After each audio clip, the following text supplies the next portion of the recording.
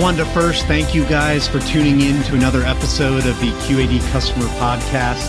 If you have not already, please, please, please hop into Spotify, Apple Podcasts, wherever you uh, consume your podcast and leave a review. This really helps us distribute the podcast to a broader audience and provide more value to the QAD space.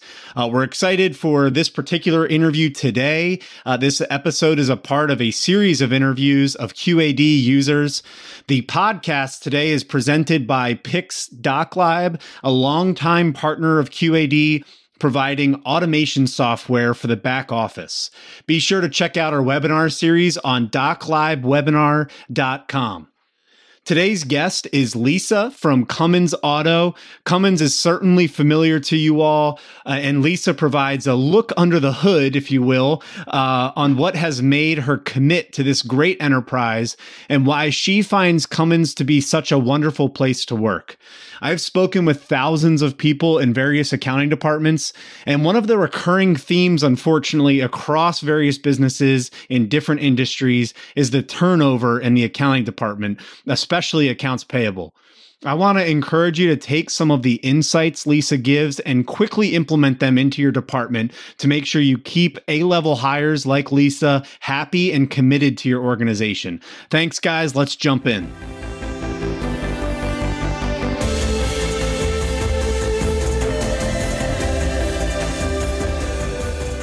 Welcome to the QAD Customer Podcast. Today I have Lisa Stewart with me from Cummins Auto and excited to dive in to her experience at Cummins Auto and um, understand a little bit more about what uh, Cummins has done to utilize QAD and various ERP systems.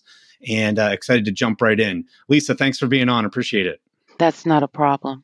I hope I can be helpful. Oh, yeah. 100%. So, give me a little background on yourself. Where are you from? You know, where in the United States are you located and get and maybe a little bit of a background on your career as well. That's not a problem. I'm originally from Chicago, but currently I reside in Murfreesboro, Tennessee, which is about 30 minutes south of Nashville. Been here about 15 years. I got transferred here with um, Red Lobster. I did 22 years as a restaurant manager. And then um, I decided that that was about enough time to spend in the restaurant industry and then decided to actually go and use um, another level of my degree. I have a degree in finance, so I got into the financial side and I've been doing that for about eight years. And I've now been with Cummins, I want to say officially a solid three years um, on the 11th of May. Wow, great. Well, congrats. That's pretty recent. Three years. Okay. Um, I don't know if you're a, a, Bachelor fan or if you listen, if you watched the Listen to Your Heart, but my uh, wife is very, very into that, and they were in Nashville the season finale last night, so that's fun. That is. Fun I hope she had a great time. Oh yeah, absolutely. So, um, tell me a little bit more about your current role. You mentioned you're in in finance, have a degree in finance. Tell me about the role at Cummins and what that kind of looks like uh, as a part of your team there.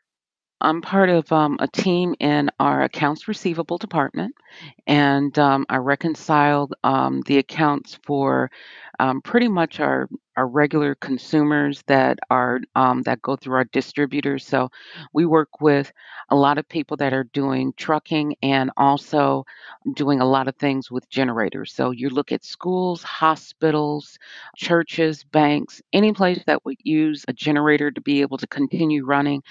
They are a large source of our income, and I help reconcile their accounts with getting servicing and and and purchasing parts and and even the um, the generators. Oh, great. Okay. So what what is like kind of the name of that division or what are, what kind of in Cummins? It's called CSNNA, so that would break down to um, Cummins Sales and Service North America. Okay, very nice. Okay, and then tell me about the team that you're a part of. So, what, how does how does that kind of break down as far as the the back office is concerned? We take care of all of um, pretty much North America. So when people, let's just say that um, you have a, a, a large business. Maybe you're manufacturing, let's say, face masks. And um, to keep your business up and going, you need to be able to make sure that you have generators in case the electricity goes out. You contact us, we come out, give you a bid, and then we install your generator, set you up with a service plan to maintain the generator, and um, we would come out, and make sure that the generators are serviced. Any parts that you would need, we would help you with. Uh, we also do quite a bit with the trucking industry, also. So, um, you know, people that are, are in freight logistics, they use us to be able to service their their large um, trucks, bus systems. Um, you know, you're looking at, you know, your metro rails um, and buses Hmm. and trains. We come out and service those. So anything that has to do with an engine, that's what we specialize in. My Wow. role would be taking a look at the invoices that would come in, um, make sure that they have the correct um, POs, the invoices are correct, reach out to your purchasing department to make sure that everything is in line, and then secure payment on the account and make sure that everything is correct. Wow, very nice.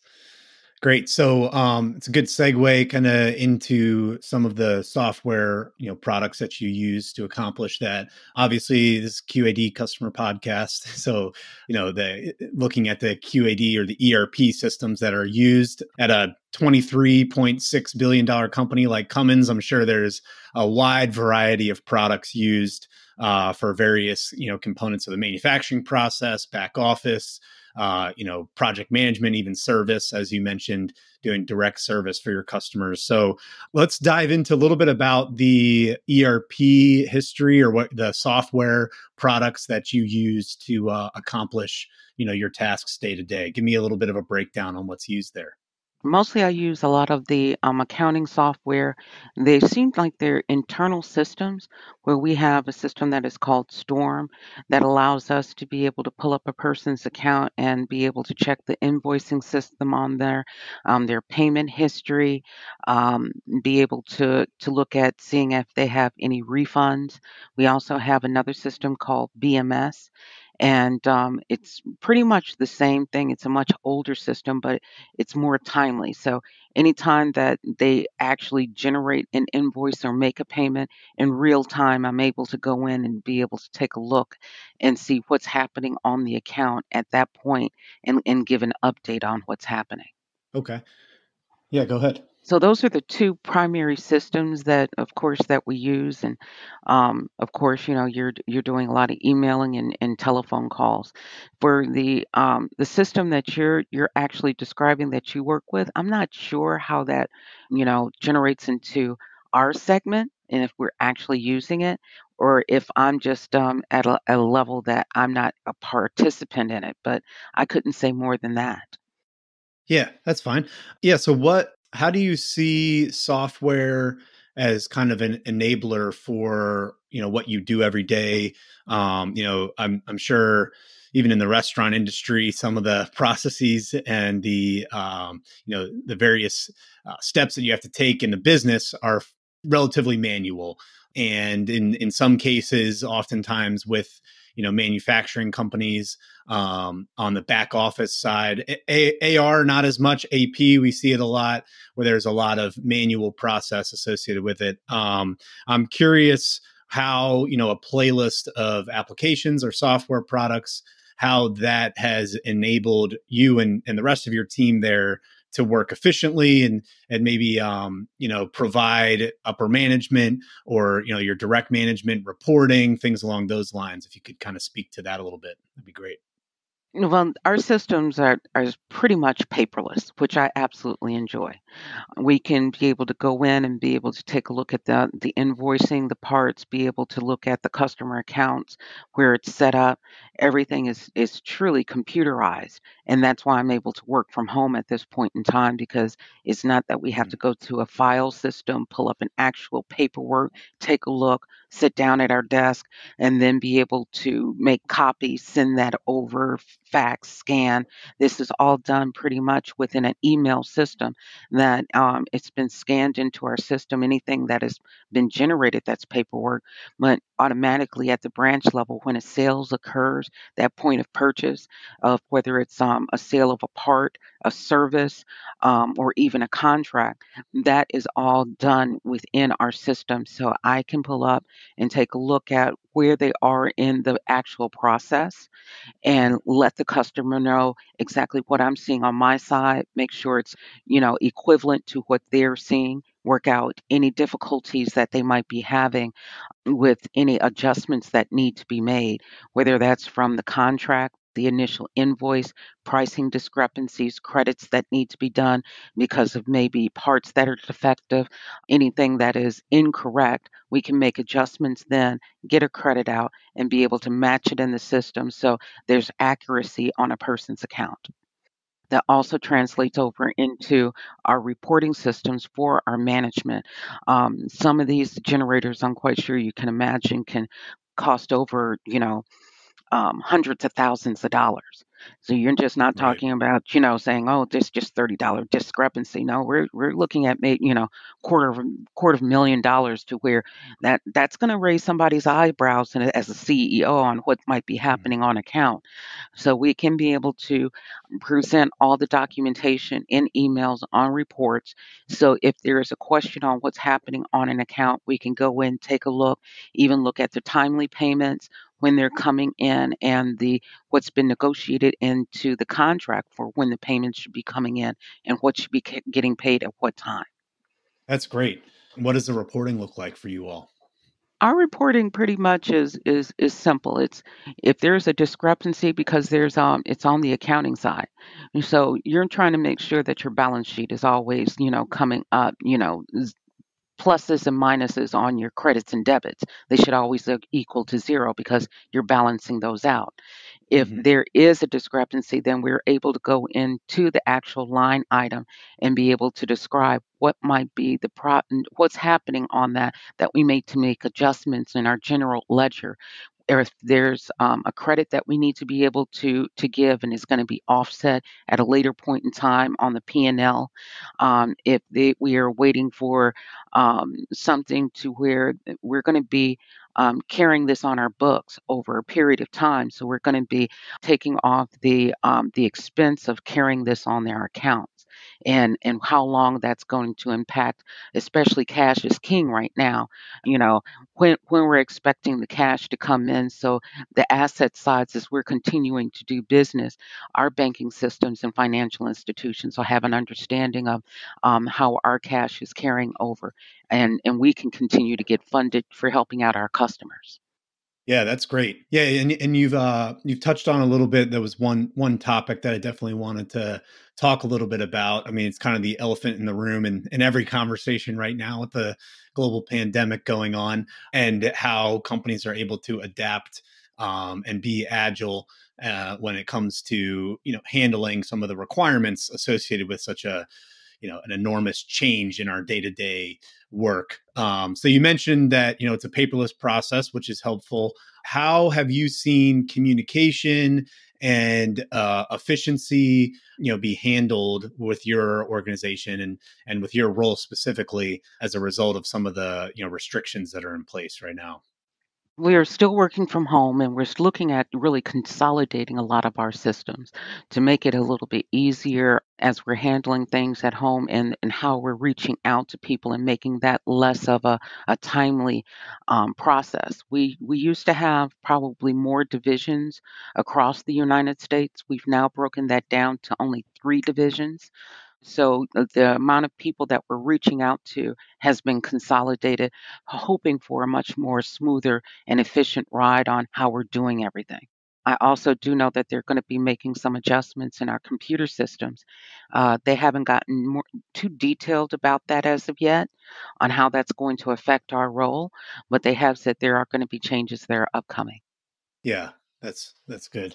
Good to to be agile, and I, I can I can tell even in your description of those two kind of cornerstone products that you use, you know, from a functional standpoint for AR, that um, you know it's a it's an important components to being agile with whatever you know is thrown at you all, uh, especially in lieu of the current situation here. Um, how has communication uh, been? Has that, you know, what sort of tools do you use for that other than, you know, standard email, or is it really kind of dedicated to that and still learning a little bit how to communicate in a distributed or remote environment? Well, just how we're having our conversation right now, we have also other things that we use, such as Skype meetings that you're able to look at and share screens. We also use Zoom.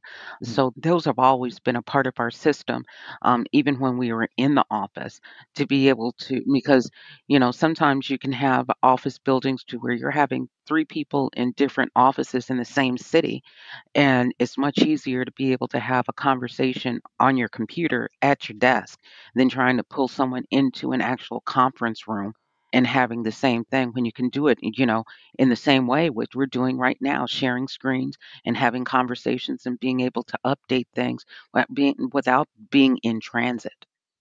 Yeah, that makes sense.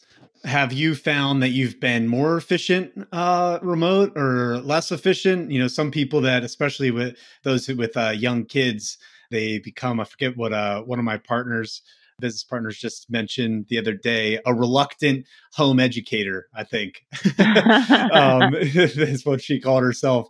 But uh, how how has it been? Uh, you know, kind of working from home and and as far as efficiency and, and getting your your work done every day how's that been I actually really enjoy it. I really do. Um, you know, it's much easier to roll out of bed and be in your pajamas and get started on something mm-hmm. instead of starting your, you know, normally you have to start your day two hours before you even get into the office, and that causes stress. And so, you know, with being able to wake up fresh, there's not the stress of what's happened in my house before I've had to get out of my house, along with what happens in transit. Um, and before you even get into the office, and then you're supposed to walk in with a smile and saying, Hi, how are you today? yeah you know, yeah so, you know, that, that translates into me when I'm working with my customers being a lot more, I think, um, patient and willing Hmm, to uh, do a little bit more and take the extra steps because you haven't that's had those great extra steps taken out of you already. You know, you've already you're you're already fresh and it's just like you you haven't you haven't taken me down yet. We can do this. Yeah, I definitely, I definitely hear that. I'm sure, uh, you know, especially on back office finance, AP or AR, especially when you're, you know, facing customers or suppliers, uh, both, you know, there it can be a pretty grueling, taxing uh, role. You know, that not it's it's uh, probably not surprising for you to hear that many people feel as though, you know, uh, their suppliers, their customers don't necessarily treat them the way that they may treat them, you know, at a dinner party or something. so uh, might be a little bit easier the comfort of your own, own home. I, I, I get that for sure. So tell me a little bit about um, kind of where you know you're hoping to go in your career, and and you know, and kind of explain about you know maybe yeah, you, so you pivoted out of restaurants, went into finance. What's kind of the future hold for you in your career? Well, I am hoping to be able to retire from Cummins, um, especially with our, our, our change in, in work right now. This Mhm. completely fits exactly where I would like to go with having a, a much calmer, peaceful life. As far as specifically career, I'm very satisfied with where I am right now. I'm really reaching out more into the community aspect of helping Cummins. Uh, we do a lot within the community to be able to support, um, you know, our, where we are. And, and really trying to encourage um, people in the STEM system for the schools for people to go into mathematics, engineering. You never have enough people that are going into those roles, and it's very challenging to be able to get that kind of talent yeah, because, you know, research and development and being able to continue to be on the cutting edge is what's going to make it coming stride. And and knowing that we're part of the community, we're trusted, and exposing, you know, a lot of the the young adults and parents to what we're doing, how we're doing it, and how we affect every single thing that they do. Because a lot of times people don't will hear Cummins and they automatically think, you know, trucks, and it's just like, yes, Yeah. we do the trucks, yes, we do, but Yeah. you'll uh, you'll also realize too that we have very large contracts with the military and and and a lot of the the engines. You know, you'll think about NASA, and as we're me- moving the space shuttle, we provided the engines that was able to move the shuttle around. That came from Wow. us. That's Um, when awesome. it is, it's it's really awesome, and it's very exciting to be able to talk about how we're a part of of you know doing things. We're working on right now providing hydrogen cars with um, one of our suppliers.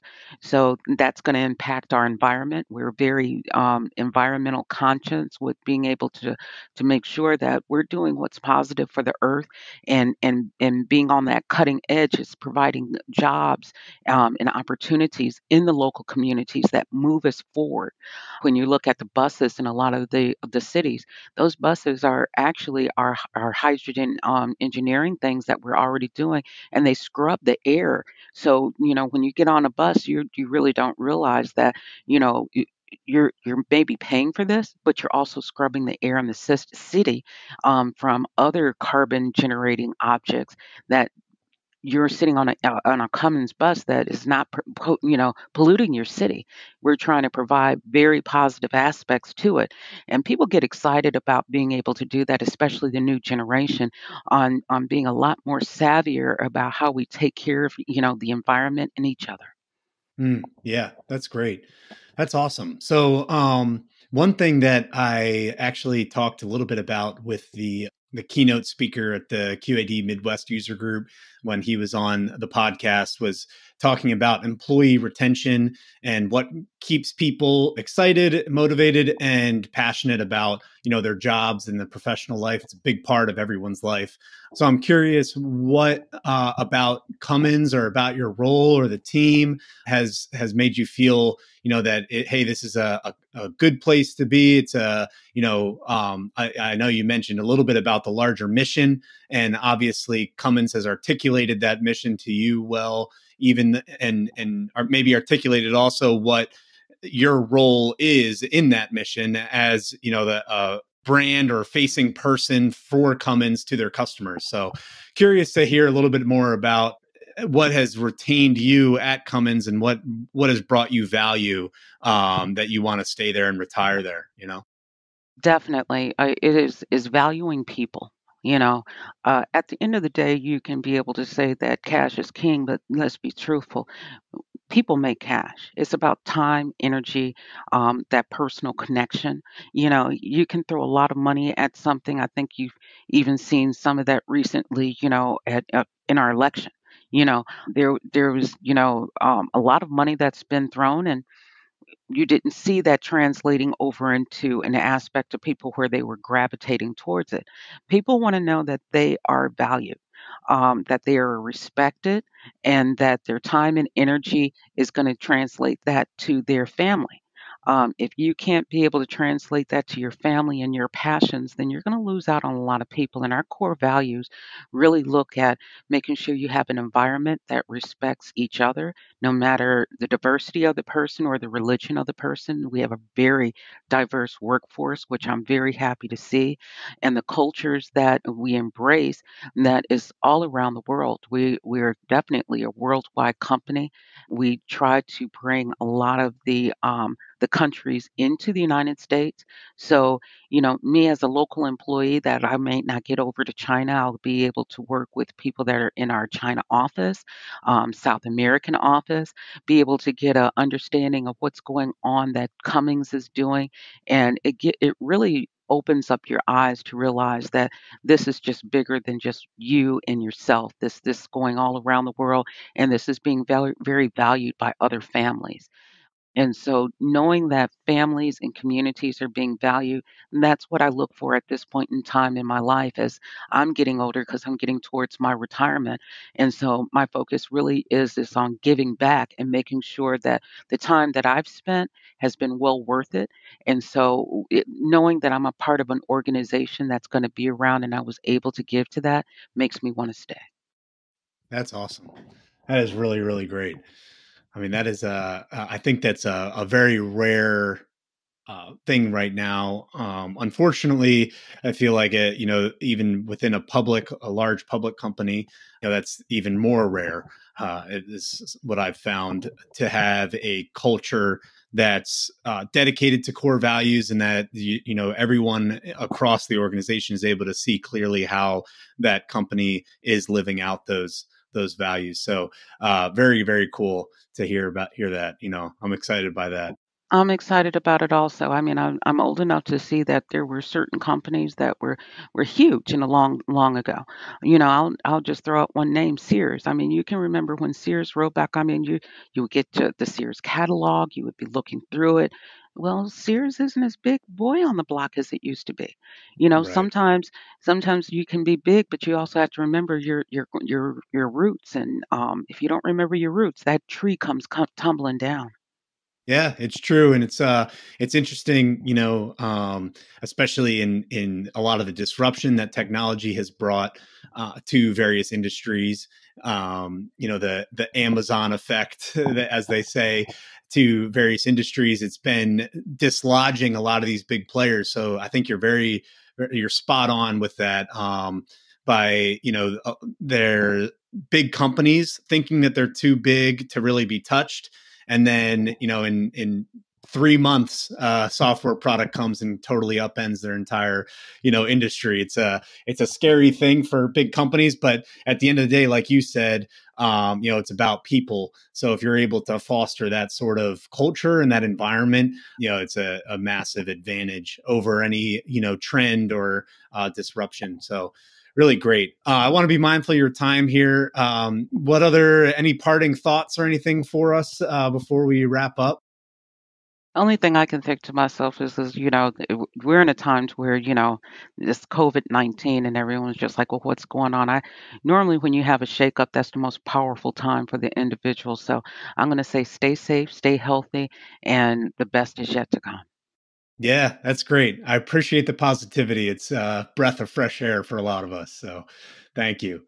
That's not a problem. And I hope you'll get down here to Nashville with your wife sometime too. Oh yeah, yeah. We're, we're, we look forward to that because uh, you know it's a it's a beautiful town, and uh, one of her close friends lives down there, and you know we'd love to to go visit. Well, we look forward to when we can be able to do that safely. Yeah, that's true. All right. Well, thank you, Lisa. I appreciate your time and uh, thank you for sharing some of the insights and some of your experiences with us. Thank you. You have a great day, Stephen. Thank you. You too. Bye. Bye bye.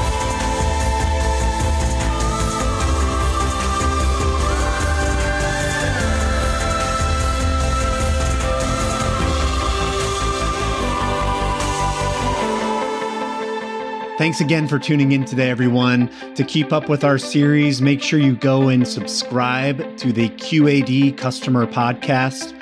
For those of you kind enough to also leave a review of our podcast, I will be sending out a series of $25 Amazon gift cards. So make sure you head over to whatever platform you consume podcasts and leave a review. Thank you all. Until next time.